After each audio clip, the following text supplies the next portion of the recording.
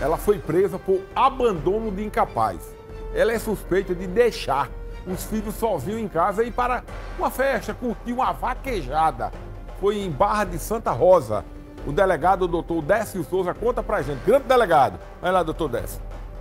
Uma lamentável ocorrência acaba de aportar nessa depó, oriunda da cidade de Damião, quando foi presa em flagrante delito uma mãe por abandono de capaz. Abandonou quatro filhos dentro de uma casa, certo? deixou os filhos lá, passando fome e sede, e foi curtir uma vaquejada militar, onde passou a noite toda, certo? Os vizinhos ouviram os lamentos e os gritos, pedindo socorro das crianças, acionaram o Conselho Tutelar, que por sua vez acionou a Polícia Militar, estiveram lá no pai da vaquejada, ó, 11 horas do dia, encontraram ela ainda lá, militando. Os meninos só não morreram de fome sede, porque os vizinhos jogaram pela flecha da, da, da janela lá, bolacha, Se você ver, meu amigo, tá aqui, filmado. Não vou nem mostrar porque é, é foto assim. Foi filmado da lasqueira, dizendo que apanha, que nem é a primeira vez que ela faz isso, que passa necessidade. Uma verdadeira barbaridade o que essa mãe desnaturada fez com essas crianças.